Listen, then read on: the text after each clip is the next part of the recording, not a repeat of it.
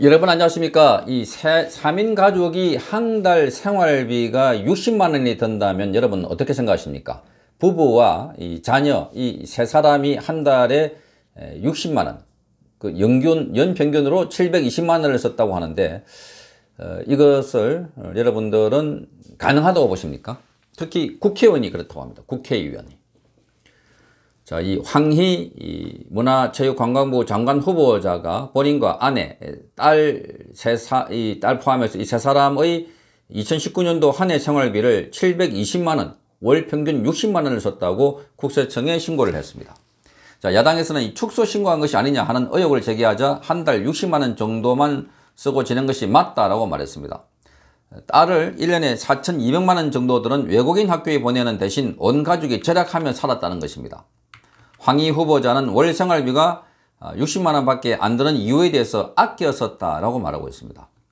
그는 딸을 외국인 학교에 보내면서 아내와 한 달 100만 원 넘지 않게 쓰자고 어, 약속했다면서 아내는 미용실도 안 가고 머리칼도 스스로 자른다. 딸 머리도 아내가 해준다 라고 말했습니다.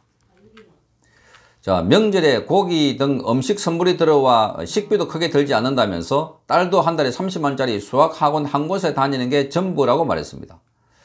자, 딸 학원비는 생활에, 생활비에 포함되지 되는 돈이 아니라고 합니다. 자, 그러면서 황 후보자는 우리 집에서 돈을 가장 많이 쓰는 게 나인데 내 지출은 의정 활동비에 나가서 의정 활동비에서 나가서 국회의원 월급은 거의 저금한다 이렇게 말했습니다. 완전히 생계형 국회의원인 것 같습니다. 자, 야당에서는 아무리 아껴 쓴다고 해도 3인 가족이 한 달 생활비로 60만 원 밖에 안 쓴다는 건 납득이 가지 않는다 이렇게 말하고 있습니다. 저 아파트에 산다면 관리비만 하더라도 뭐 10만 원 이상이 나올 텐데 이게 가능한가? 쌀, 뭐 부식비, 연료비, 교통비, 가족들 교통비. 자, 국민의힘 이용 의원은 월 60만 원으로 생활한다는 후보자 말을 국민이 과연 믿겠는가라고 말하고 있습니다. 더구나 황 후보자, 황 후보자 딸은 2019년 서울 목동의 한 자사고에 입학을 했고 한 학기에 학비가 4,200만 원이 드는 외국인 학교로 옮겼습니다. 황 후보자는 2019년 말 출판 기념회를 통해서 7천만 원 상당의 수익을 얻은 것도 있다 이렇게 말했습니다. 자, 2019년 12월 26일 본인이 쓴 책 대전환의 시대라는 이 책 출판회를 통해서 7천만 원 상당의 수익이 났고 이에 대한 소득 신고도 맞았다고 합니다. 자, 출판 기념회 수익은 보통 책 판매 대금과 축하금이 포함되는데 자, 황 후보자는 출판 기념회 수익으로 아파트 전세 대출금을 갚았다고 말했습니다. 아파트 전세 대출금을 갚았다. 자, 중앙선거관리위원회에 따르면 출판 기념회 수익은 대출금을 갚는 등 개인적인 용도로 쓰더라도 정치자금법 위반은 아니라는 겁니다. 그러나 현역 국회의원 출판 기념회는 사실상 정치자금 모금 성격을 띠고 있다는 게 정치권의 중론입니다. 한 현역 의원은 정치인의 책을 읽고 싶어 출판 기념회에 참석해서 축하해주는 사람이 어디 얼마나 되겠느냐라고 말하면서 출판 기념회는 사실상 우회적인 정치 자금을 모금하는 행사다. 이를 개인 대출을 갚는 데 썼다고 말하는 건 아주 부적절하다 말하고 있습니다. 실제 정치인의 출판 기념회 자리에는 유관 부처의 관계자나 기업 관련 인사들이 참석해서 책값에 관계없이 축의금 내듯이 일정 금액을 내는 경우가 많습니다. 자, 이 황희 후보자 재산은 2016년 국회의원이 되고 나서 5년 사이에 2억 원 넘게 벌어난 것으로 알려졌습니다. 황 후보자의 2016년 신고 재산은 8,400만 원이었지만 올해 국회에 등록한 신고, 등록 신고한 재산은 6억 8,800만 원입니다. 6억 800만 원. 전세자금 대출 2억 3천만 어, 원과 정치자금 7,800만 원을 제외해도 2억 2천만 원 가량 늘어난 것입니다. 자, 황 후보자 딸을 자사고를 거쳐서 외국인 학교에 보냈다는 사실이 알려지자 인터넷 커뮤니티에서는 내로남불이라는 비판이 나오고 있습니다. 자사고 특목고 폐지를 추진하는 현 여권 인사가 자신의 딸은 자사고 특목고에 보냈기 때문입니다.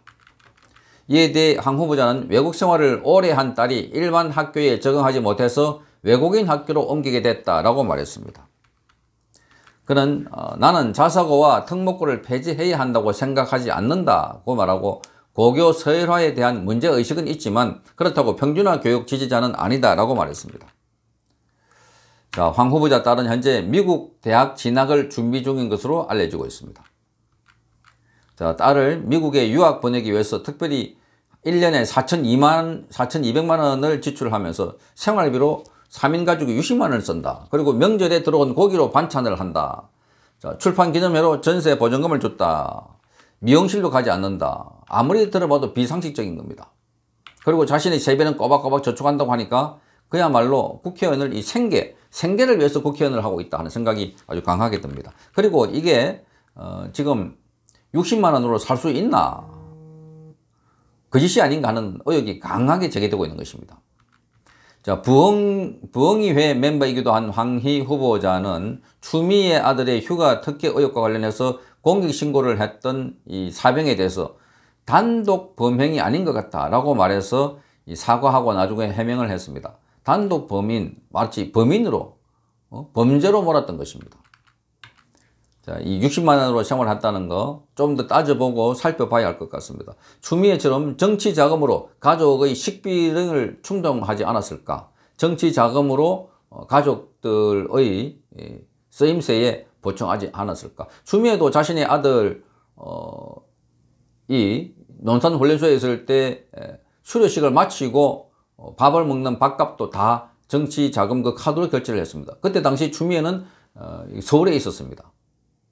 그런데 그 카드 가지고 어, 정치 자금 또 어, 승용차 어, 주유도 했고. 자 이런 걸 보면 정치인들이 지금 이렇게 말하는 걸 고지 고지 고지 곧대로 믿을 사람이 얼마나 있을까? 황희 이 사람에 대해서도 좀 더 많은 조사가 필요해 보입니다. 성창경 TV였습니다.